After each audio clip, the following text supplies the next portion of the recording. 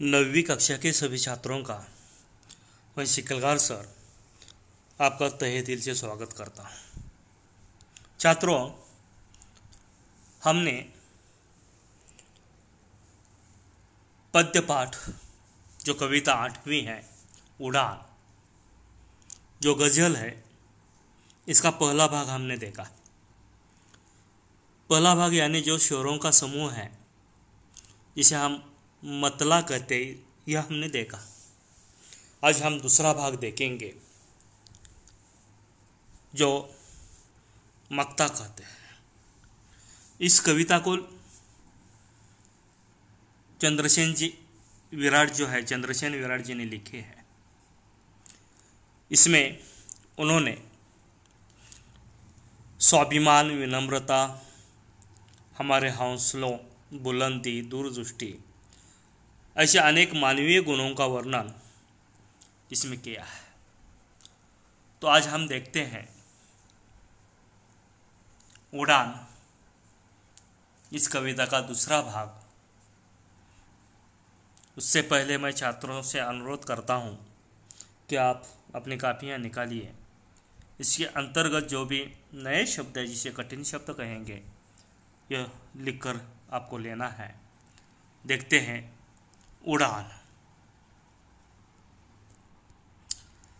जिसकी ऊँची उड़ान होती है, उसको भारी थकान होती है। इसका भावार्थ देखेंगे। जिसकी ऊँची उड़ान होती है, उसको भारी थकान होती है। छात्रों, जिस व्यक्ति की जितनी ऊँची उड़ान होती हो, जितना अधिक वो काम करे, उसे उतनी अधिक थकान हो। हमारा लक्ष्य अगर बड़ा हो तो उस लक्ष्य तक पहुँचने के लिए हमें हर तरह का परिश्रम करना होगा और उस लक्ष्य तक पहुँचने के लिए हमें हर तरह की कोशिश करनी होगी। इस परिश्रम कोशिश करते हुए अगर कोई भी इसमें दिक्कतें आए, संकट आए विपदा आए, उसे पार करने की कोशिश हमें हर हाल में करनी होगी, क्योंकि हमारी उड़ान ही ऊँची होती है। और यह पूर्ण करने के लिए उसमें उतनी ही भारी हमें थकान महसूस होती है, लेकिन अंत में हम उसे हासिल करते ही रहेंगे, क्योंकि जिसकी ऊँची उड़ान होती है, उसको भारी थकान होती है। हमारा ध्येय अगर जा, ऊँचा होगा तो उसके साथ में हमें उस, उससे प्राप्त करने के लिए उतना ही परिश्रम करना होगा और वो परिश्रम करने के लिए हमें थकना ही होगा, तभी हमें वह ऊँची मंजिल हमें प्राप्त हो सकती है। बोलता कम, जो देखता ज़्यादा। बोलता कम जो देखता ज़्यादा आँख उसकी ज़ुबान होती है। ज़ुबान यानी भाषा। जो व्यक्ति कम बोलता है और देखता परखता अधिक है।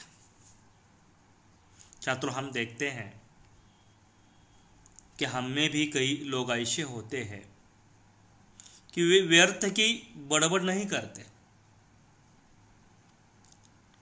सिर्फ़ उनकी आँखें बोलती है। वो आँखों से देखते हैं, बोलने से ज़्यादा आँखों से देखते हैं और उसका अनुभव महसूस करते हैं।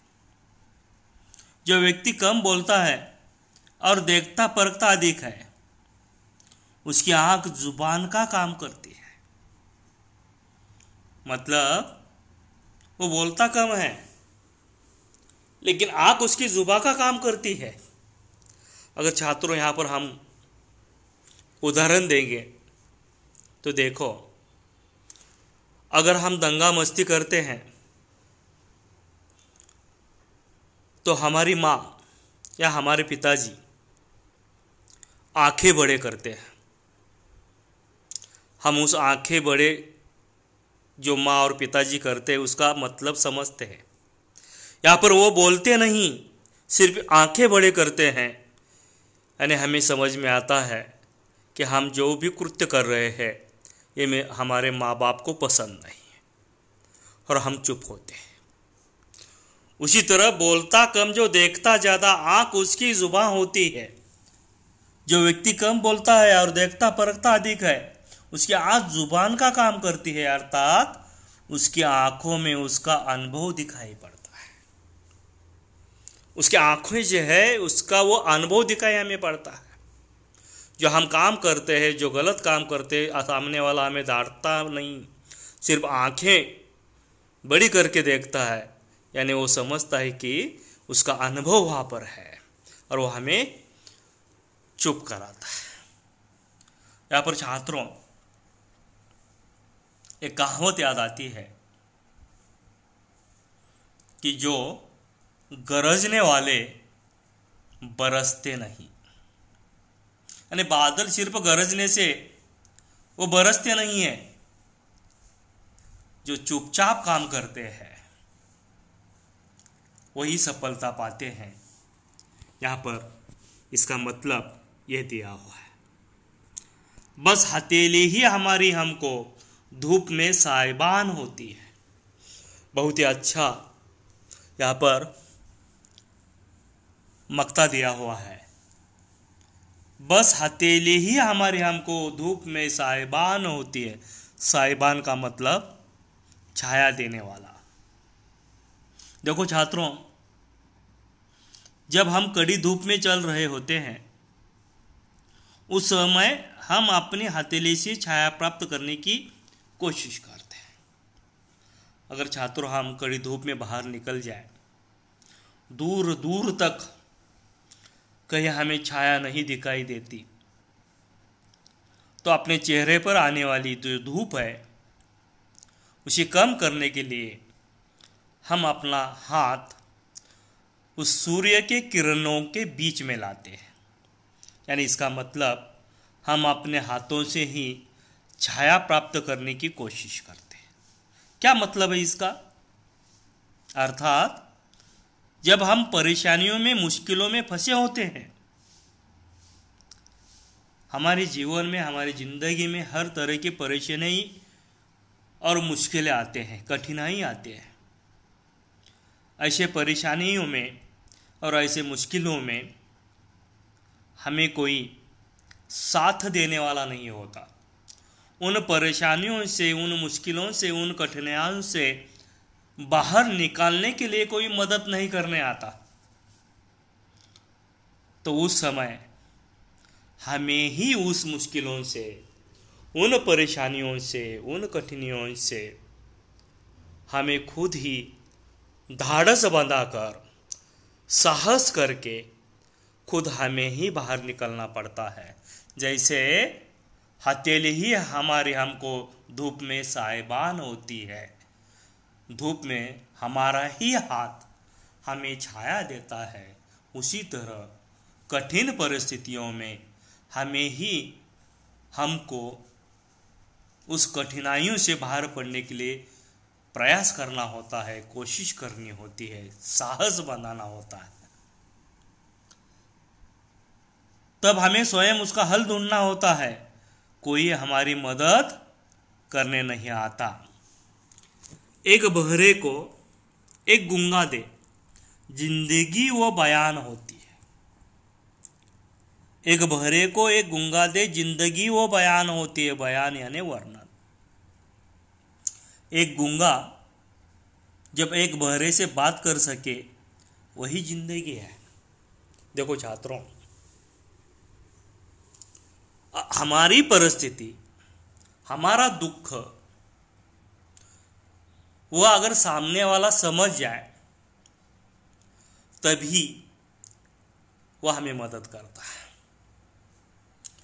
नहीं तो दिखावे के लिए आजकल कई लोग आते हैं और सिर्फ़ फ़ोटो निकालकर अपनी प्रसिद्धि हासिल करते हैं।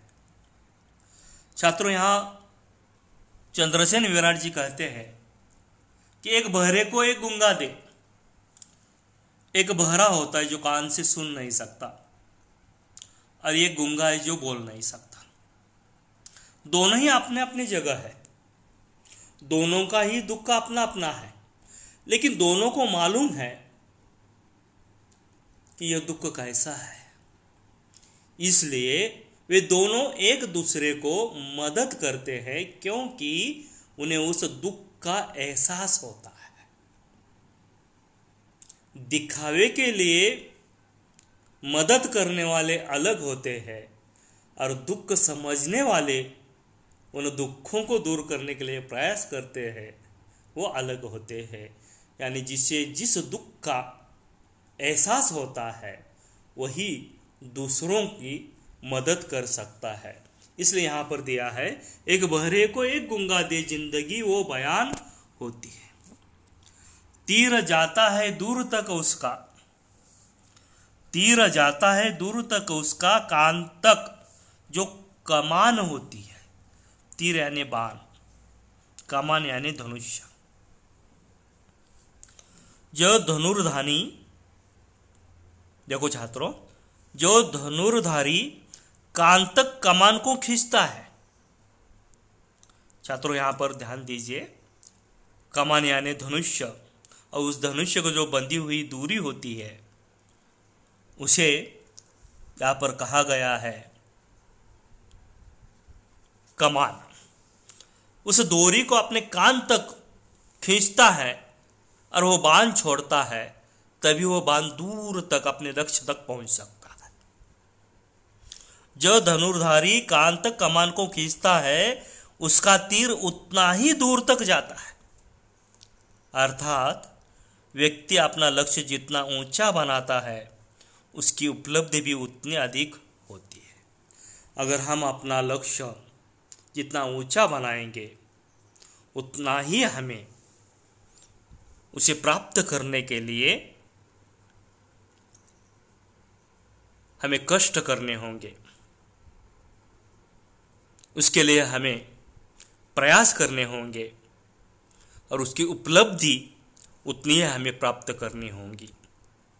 तीर जाता है, दूर तक उसका कान तक जो कमान होती है।